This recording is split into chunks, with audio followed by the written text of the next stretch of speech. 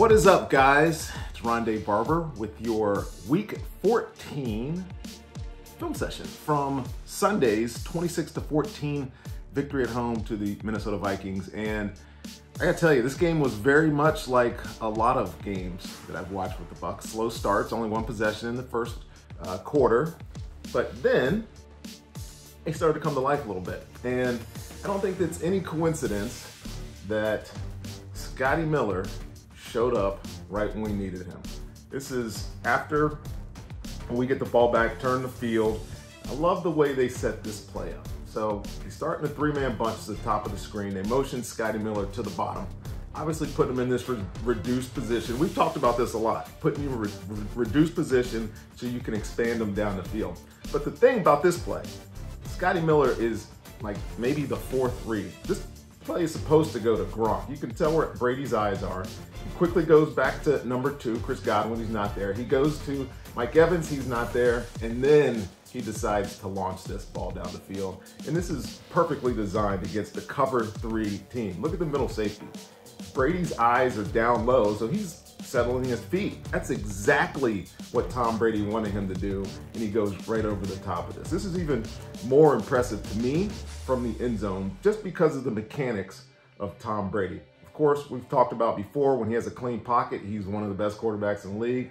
And look how clean this pocket is. Both Wirfs and Donovan Smith throw their defensive ends up the field. But watch Brady settle, reestablish, and look at that base to throw this football.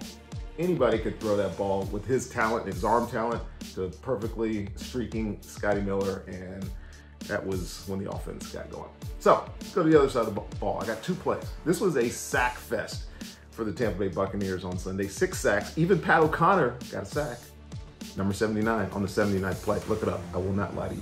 But this is the first drive um, of Minnesota's game. And I want you to look at the top of the screen. I say a lot, we say a lot, rush and cover have to marry in order to have a good defense. Well, on this play, it's perfectly done. The Bucs are playing man-to-man, and if you stop it right here, there's absolutely nowhere for Kirk Cousins to throw the football. So that's one aspect of this. The other aspect that I want to talk about, because it's going to come up later in the game, is this this rush game up top. It's Shaq Barrett and a defensive tackle, and this is a TE game. So the tackle goes first, the end comes around. And you can see that the tackle takes up two, Shaq Barrett's clear to the quarterback. It's very easy to see from the end zone what happens here. Watch 96 and 58. Tackle is gonna uh, take up the guard and the tackle, and then Shaq Barrett, because they didn't pass it along, it's free to quarterback, okay? Later in the game, this is, to me, probably the most important play on defense. Look at the score. It's 23 to 14, and they are in scoring range. There was actually a sack right before this by Antoine Winfield Jr. This is Shaq Barrett running another game, except this one is an ET game. Why is that? Because the end goes first. Watch this. See the end go first. He goes underneath, and I think that Sue that he's working with comes around, but because of the confusion caused by the rush game, again, no place to throw the football immediately, so there's time for the rush to get there, and then Shaq Barrett comes in with the sack. And of course, the Vikings missed the field goal after this. Uh, there's one thing I want you guys to notice. If Shaq Barrett doesn't get a sack here, there's a touchdown in the middle field, because unfortunately Winfield falls down. But rush and cover, they got to work together, and they did. Anyways, uh, you can see it here, same thing.